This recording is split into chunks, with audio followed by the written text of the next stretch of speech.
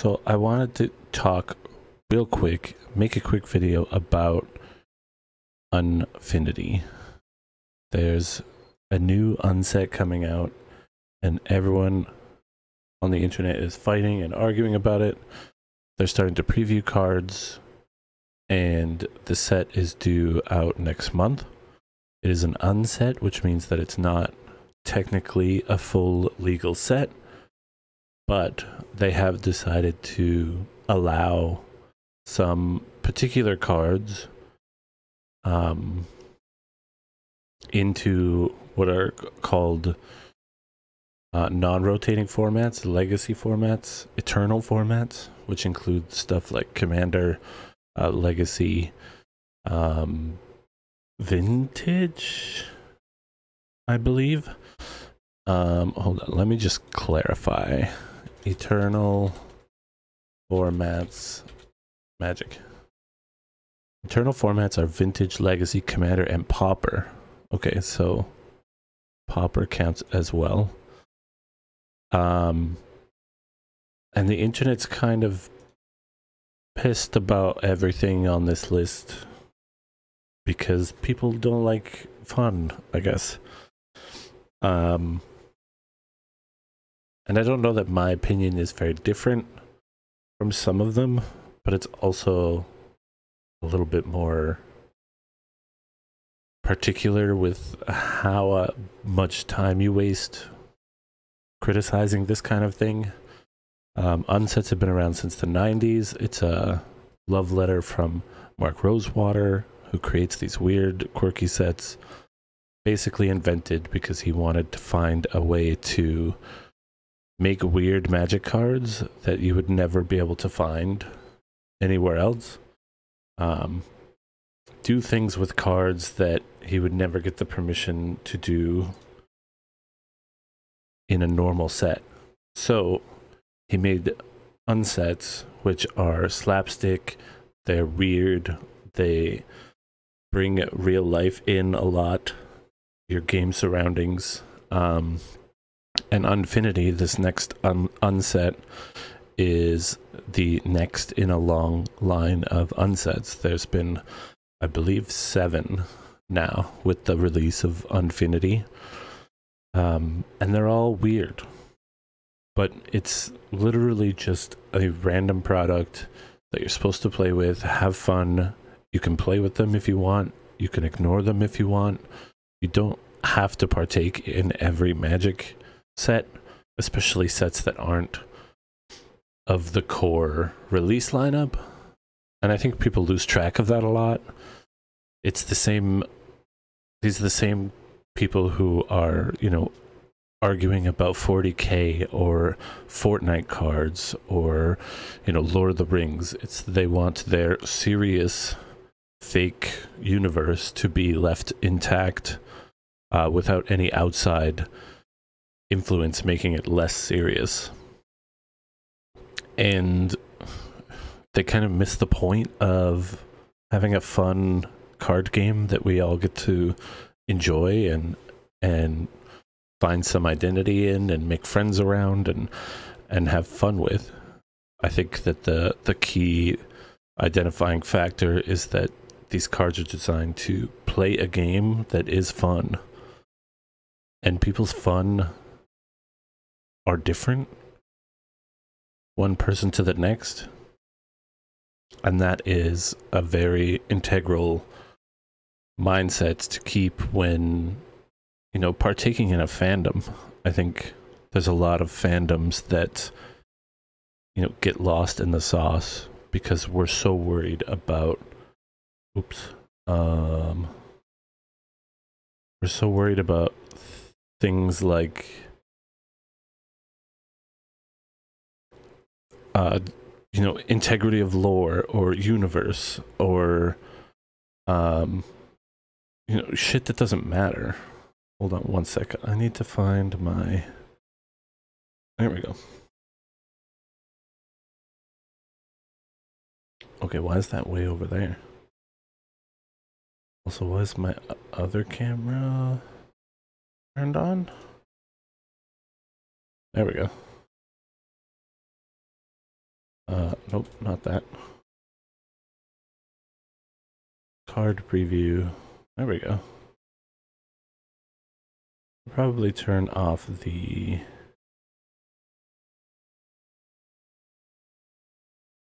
Uh, no, that's fine. So again, we'll we'll go through some of these cards. At the end of the day, like you don't have to fucking like any of them. You don't have to if someone brings an Unfinity deck, an attractions deck, for instance, to your commander game night and they say, "Hey, can I play with my attractions deck?" You have all the right in the world to say no they have all the right in the world to then walk away and find someone who will. But there has to be a line of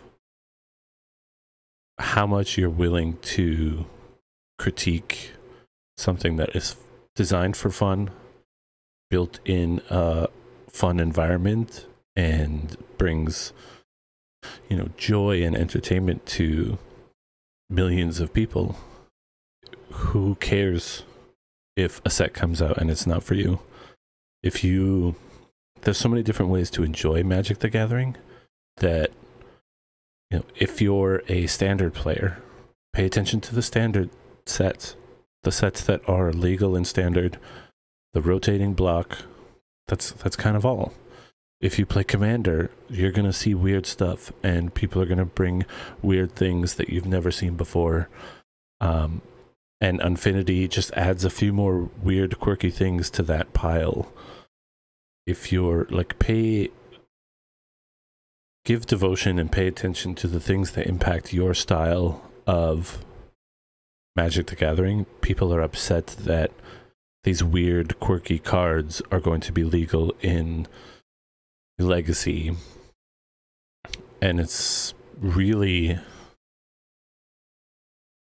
not a big deal, especially right now. Like these set these cards aren't even out yet, and Magic the Gathering Twitter is like lighting itself on fire because people have such strong opinions on something they've never even played with. This stuff may seem stupid or silly on the surface when you're reading it on a website, but who knows what it actually plays like.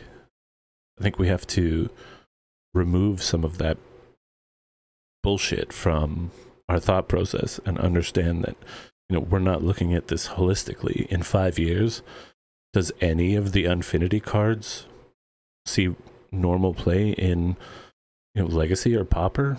Who knows? So why are we wasting so much time arguing with one another on the fucking internet about it? Um that's my take. It's it's really about preference. On on the surface, I'm, you know, I wish that Unfinity or these unsets remained uh, what they call silver border, which means that they're not legal in formats outside of silver border. Um, you know, you draft them, you play them, you have fun, it's weird. And then we go back to the normal gamut of magic cards the idea that if there's a tournament at a you know worlds or you know a PTQ or something competitive that has a legacy format in it on you know Friday night or Saturday to qualify for day 2 you know the fact that you might see unfinity cards makes me feel weird a little bit. It's a weird. It's these cards are designed to take the piss out of Magic the Gathering, both players and you know environments and design space. So having those kind of things be legal in a format that does sometimes, not very often, see a competitive environment um, is the only part about it that makes me feel weird. But taking a step back, exhale a little bit, and you're just like, this shit isn't for me. I don't care. I'm not interested in weird and wacky things that break the mold of what Magic the Gathering is. I appreciate what I appreciate. And everything else doesn't have to tickle my fancy. There are people out here who are super excited about Unfinity and Godspeed to them. It looks interesting. There's some cool, fun little things in this set that have been revealed so far. And who am I to cast any sort of negative critique on what they could consider really fun? I just know that in October I'm going to be playing standard more and counting down the days until worlds and having fun in that environment. But that's because that's the part of Magic the Gathering I like the most. That that has zero weight on what part of Magic the Gathering you like the most, how you're allowed to judge anyone else for whatever part of Magic the Gathering they like the most. It's just simply not your fucking place. So, if you watch this, or you're in chat right now, or you see this on YouTube in a week, whatever, just next time you see something you disagree with, just take a fucking breath and either applaud that person for celebrating something that they find fun or leave it the fuck alone. Um, yeah, that was a very long winded way of saying, yeah, this stuff isn't for me.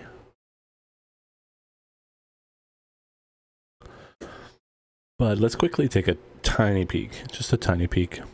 I'm not going to hang on everything. We're not going to go through every card. Um, this is a new mechanic called attractions. It's an artifact type. And basically what it is is you have a second deck.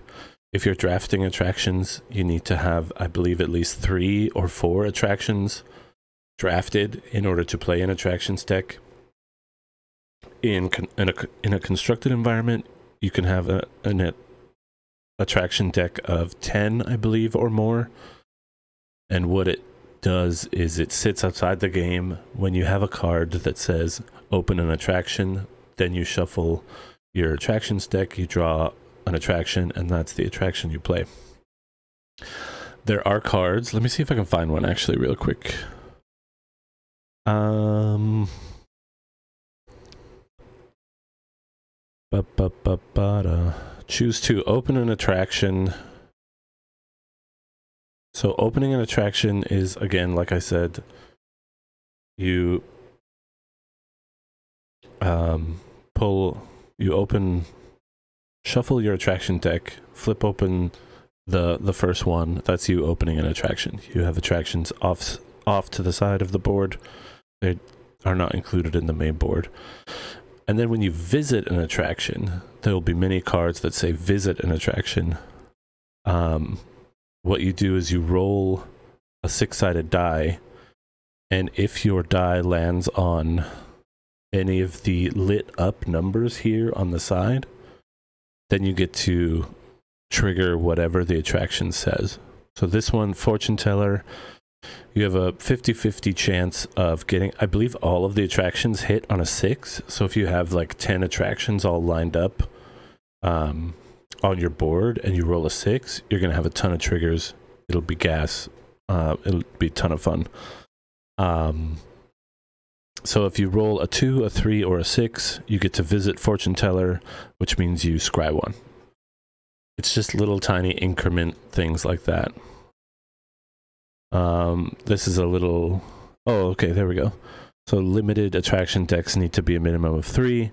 Constructed, constructed no more than one with the same name and a ma- minimum of ten. So you can. It's a singleton attraction deck basically. And you know, there's a number of attractions. And I'm sure it's going to get weird. Like all um, unsets have in the past. I will point out that this is my favorite card that has been revealed out of all these cards so far. Attempted Murder. it has this cool looking crow who's sticking out his leg to trip this waiter. And it's two black, black, and X for a sorcery. Choose target creature, roll X six sided dice. For each even result, put two minus one, minus one counters on that creature. For each odd result, create a 1 2 blue bird creature token with flying named Stormcrow. So either one is positive, but you could, if you roll a bunch of even results, then you could kill, um, you know, something really large. And I just think that's fun. Attempted murder is is a silly play on, you know, obviously the murder card. That's also two black. It's two black black for murder, and or one black black. Yeah, it's one black black for murder, and it's it's kind of just a standard staple. It comes in and out with with sets. Usually, there's one reprint a year. It's just a thing you always see in black. Um, I'm not going to go through everything else. There's another funny one, lifetime pass holder, kind of. So the theme around Unfinity is this like space amusement park, hence the attractions, um, hence all the uh, astronaut sci-fi stuff. Um, this lifetime pass holder is one black for a zombie guest. Lifetime pass holder enters the battlefield tapped, like all good 2 1 zombies do. And when lifetime pass holder dies, open an attraction. When you roll to visit your attractions, if you roll a 6, you may return lifetime pass holder from your graveyard to the battlefield. So it's a fun little card. Um, trying to think of anything else I wanted to. Oh, there's affinity for clowns. Hella fun. Um, Vorthos, Steward of Myth. So this is like a play on that kind of Timmy, Tommy um, character profiling that Magic did a while back. Um, what else is there? There's some there's some fun little fun little things in these cards. This comet. Oh right, I didn't actually designate what is um eternal legal or not. But we all know that a normal magic card has um, the hollow foil stamp thing on the bottom. Anything that's rare or mythic, um, anything that's not just chaff has a foil stamp on it. What they've decided to do with this unset is that anything with an acorn on it is not is only legal in unsets, unfinity, um, or if you play like an undraft, whatever. Acorn means not eternal legal. Normal foil oval means eternal legal. So stuff like Comet, Stellar Pup, which is an interesting planeswalker. It is a Boros, two and a Boros. Um, it comes in with five loyalty, and that zero is its only loyalty ability. Roll a six sided die. If you roll a one or a two, um, plus, I cannot read that.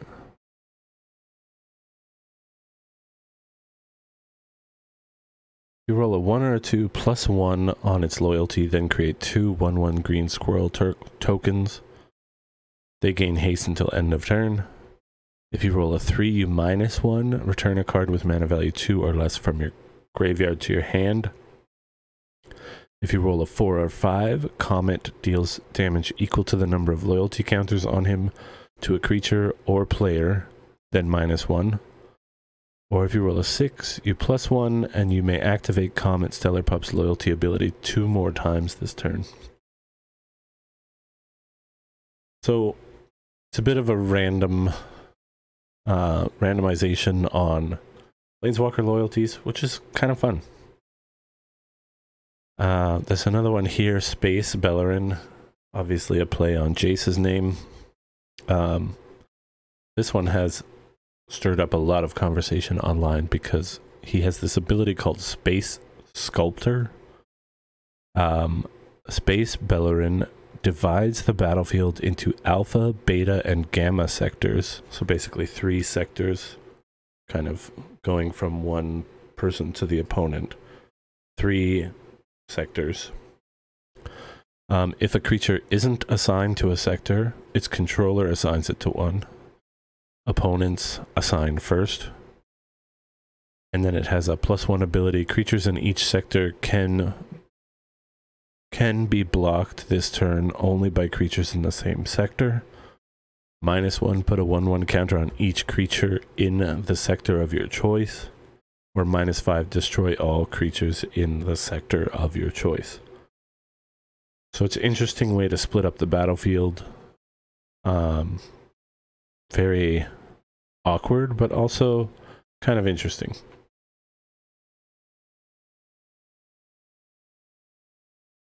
Um, yeah, and then we've got a, a bunch of attractions.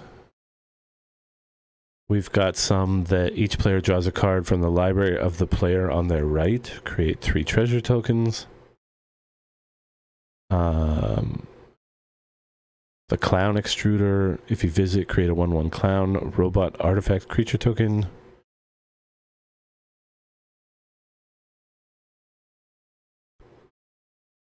Uh, concession stand, create a food token.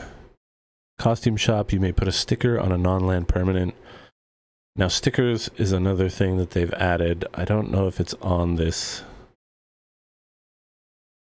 sheet. Um, but basically you have a list of stickers. You have a card that has stickers on it, and the stickers include like names, um, let me see if I can find them real quick. Unfinished sticker stickers. Let's just do that.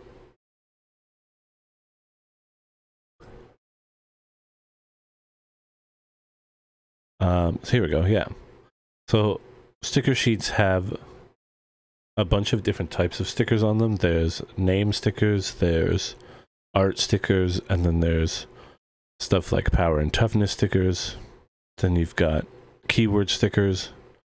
Um, and this gets triggered um, whenever Bioluminary deals combat damage to a player, you get two tickets. Then you may put a sticker on a non-land permanent you control. So it's kind of like energy, where you build up energy over the course of a game. And then when you trigger something that says you may put a sticker on a non-land permanent you own, you get to look at your sticker sheets. And again, you have like a side deck of sticker sheets which I believe you can see all, you're allowed to look at all of them at once. Um, and then depending on how many stickers you have, you can buy a sticker of meaningful substance or you can put a name and or art sticker on your card. And basically this changes the way some of the Unfinity cards interact. There's cards that call out for pirates. There's cards that call out for hats. There's cards that call out for, you know, having quotes on the art. There's lots of different situations that you might find yourself in. Um, and then you, if you wanted to pay, you can pay for the keywords or pay to change your creature's power and toughness again, a, a really difficult kind of design space. And I applaud them for being clever enough to put all of that together. Because that can't be easy. The last thing is the full art lands. Every unset has something special when it comes to the full art lands. Um, almost all of the unsets full art lands are completely sought after. They're, you know, $20 or more sometimes. And Unfinity is no exception. It takes place in space, so there's obviously a space theme going on. These are some of the coolest looking full art lands you've ever seen. Um, the ones not marked with the Unfinity logo are a little bit more realistic, a little bit more doomsayer. These are all Adam Paquette, fantastic magic artist. Um, even these weird, like those look like blueberries. It's so weird. So these alien ones are one thing, and then you've got this realistic. Obviously, it's not realistic because these planets don't exist, but um, a more realistic version of planets. Or maybe these are the the planets themselves, like on the surface, and then these are the planets from outside of atmosphere. Interesting. Anyway, these are stunning. I think these are going to be a lot of people's main land setup for quite a while.